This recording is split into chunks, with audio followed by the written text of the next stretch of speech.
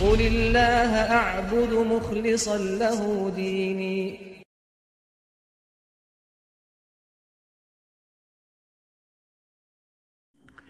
Ee, sual verilir ki, hicamə etdirərkən pul vermək, pul demək olarmı? Hicamaya pul demək olarmı? Ee, yəni, əgər nəzərdə tutursa, hicamə edən insan pul deməsi yaxşı deyil. Amma hicamə olunan insan pul verməsi bu caizdir, icazəlidir. Amma yəni buna diqqət yetirmək lazım.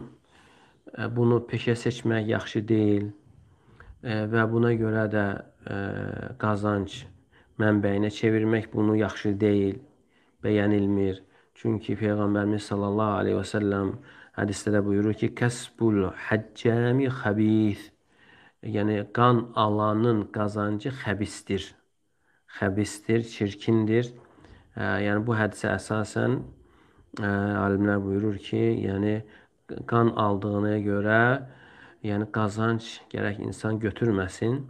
Yəni, bəziləri dəlil gətirir ki, Peyğəmbər sallallahu aleyhi və səlləm Abu Taybəyə, yəni Peyğəmbər sallallahu aleyhi və səlləmin ə, hicamə etdiyi, yəni qan aldığı kimsə idi.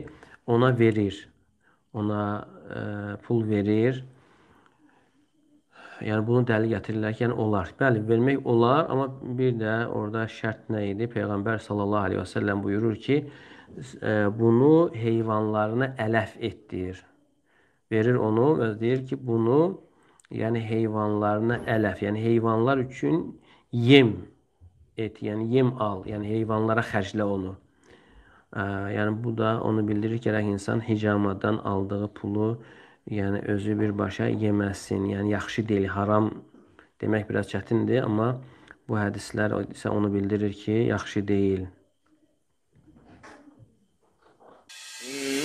إنما المؤمنون الذين إذا ذكر الله وجلت قلوبهم